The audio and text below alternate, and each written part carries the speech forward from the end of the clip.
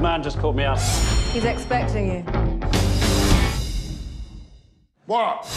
This is a story of Harry Deane.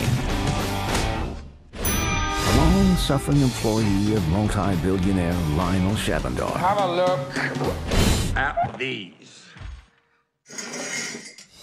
Now he would have his revenge. His plan relied on a fake painting and a real cowgirl. How would you like to make half a million pounds? Yep. Hey, Grandma. Good God. These nice people want to take a picture in the house. Straight. Beautiful work. You'll never suspect it was a fake. Monet's haystacks. For years now, Shahbandar has been seeking it with a passion.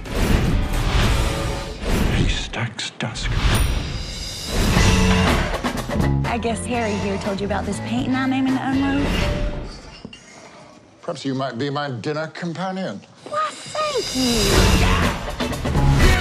Man's a bit of an idiot. Oh, bugger me. Why were you out on that ledge? And why are your pants hanging in a tree?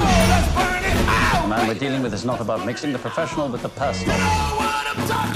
Oh, Maybe I don't mind being seduced by a multi-zillionaire. the man is a helpless ignoramus.